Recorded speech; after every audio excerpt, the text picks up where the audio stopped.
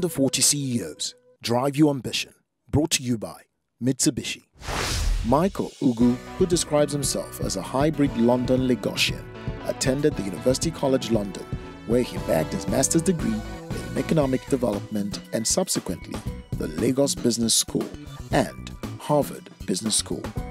Starting his career as a business analyst at the Royal Bank of Scotland, Michael would later move to CBO Capital as an associate and eventually rise to the position of CEO of music streaming company Iroking.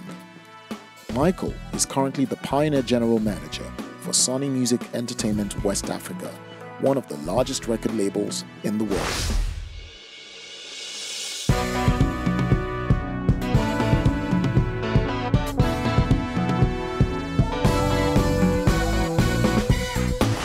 All right, thanks for taking a ride with me, brother. Thanks, man. Thanks for having me, bro. All right, uh, Mike, uh, tell me how you got started. You know, on this CEO journey of yours. Man, you know, I, I, I, it was a long time ago now. You know, it's just I've always been, I think, preparing myself for it, and um, I guess you know, trying to lead where I can. And when the opportunity came to lead, um, you know, I kind of like took the ball with both horns. I think you know, my first first time um, I became a CEO um, about 10 years ago now mm. um, in the tech space. It was it was literally you know that kind of preparation meets opportunity um, type thing. Getting into the music business, you know, having the right ideas uh, around how the business, where the business, where the industry was going to, you know, the digital nature of it, and um, you know, a lot of passion, a lot of energy, um, a lot of strategic thinking, you know, and I think just right place, right time. All right. So I'm sure the journey must have been a bit jerky, you know. Yeah. um, how did you get to the point of, you know, stabilizing enough and scaling?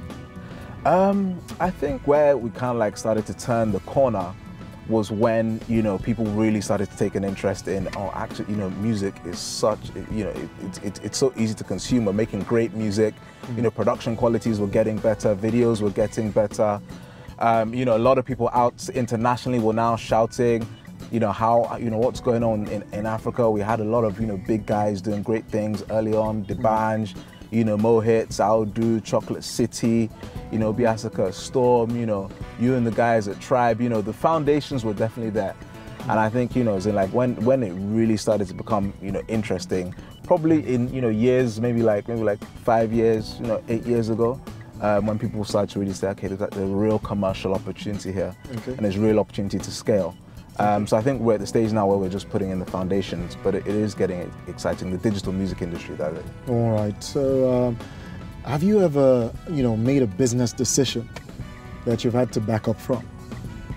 I mean, I've made a lot, man. This is Nigeria, so you know, we all make decisions every day in business that you know that we have to reverse from. But I mean, you know, okay, as as as a CEO, like in you know, being CEO, or, or, or I guess one one one decision I can remember. Um, actually, I wasn't CEO then. I was a partner. I was like a co-CEO, like a co-founder. I can talk about another thing outside of music, right? Mm. Nightclub investment oh, okay. years ago, and um, you know, got involved in it with some friends. Thought it was a fantastic idea. You know, as in like music industry was really was was was was was picking up. You know, people love Nigerian music. You know, we love to party, we love to revel, we love to dance, we love to drink. So, you know, nightclub business just seemed like the right thing to do. Mm. And um, lo and behold, um, you know, crash. Mm. Um, but yeah, I think, you know, I learned a lot, so I won't like say anything about regret. Mm. I would like to, you know, I always look at it more like a learning experience, and I learned okay. a lot from that situation. So looking back now and uh, still talking regrets or no regrets. Um, is there that one mistake um, you made in business uh, that cost you quite a lot? I don't think so. I really don't think so. I don't think I've done anything that's cost me, you know, enough for me to literally say, okay, I'm down, I'm out, I can't do this anymore. Mm. Um, I think that every CEO makes mistakes. And I think one thing I learned is you need to move quickly break some things, and that's how you kind of like learn. All right. So from all you've said so far, I see you're constantly switching gears uh, between this business and that business yeah, and yeah. juggling quite a yeah, lot. How, how do you how do you do that? Um, I mean, realistically, I, I, I read a lot. I, you know, as in like when you say do that, like like in terms of schedule, Yeah. or in terms of I just just you know I organize my day. I my watchword, right? People call me Magic Mike, right? That's one nickname I have, Magic Mike. And my Instagram name is Magic Mike type thing, right? Not the stripper, by the way, like everyone seems to think. You know, and I think that one thing I always say is that it's not actually magic. You know, I don't do magic. I'm not Merlin. You know, there's nothing I do that you can't do. But I think the thing about what I do, and I like to do a lot of, is execute. And I think it's in that execution, getting things done, right, that the magic now comes out Okay. right? So I think that for me, whenever I'm moving from one thing to another thing to another thing, my core focus all the time is execution. All right. So tell me, um, how do you cool off? Whew, I mean, it's a, it's a hot day today, so it's hard to cool off on, on a day like this. But um, you know, usually I, I hang out with my daughter. We go swimming. Um, you know, definitely I love to swim. Um, I travel a lot.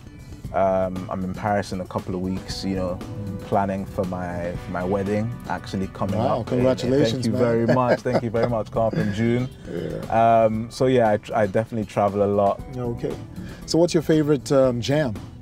right now um right now i'm feeling i'm still on yay Burna Boy i definitely think that's my jam right now um you know definitely shout out to Burna Boy you know Aristokrat Records you know shout out to all the guys they're doing all that hard work but yeah Burna Boy is doing some great things huge talent um you know he's doing really really good um obviously but my favorite that's my favorite track my favorite artist you know Davido definitely you know we're talking about contemporary artists Okay. um, Davido is my guy.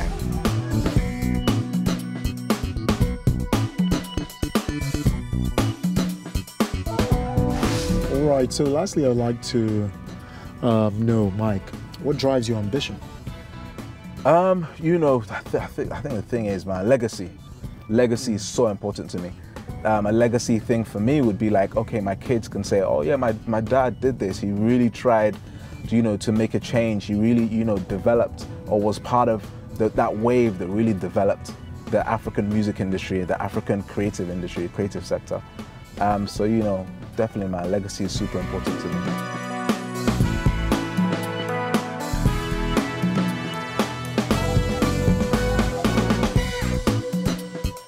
Thank you for riding with me, Mike. It's been all good, man. All Thank right. Cheers. Nice one. Have a great day. Yeah, man. Thanks, bro.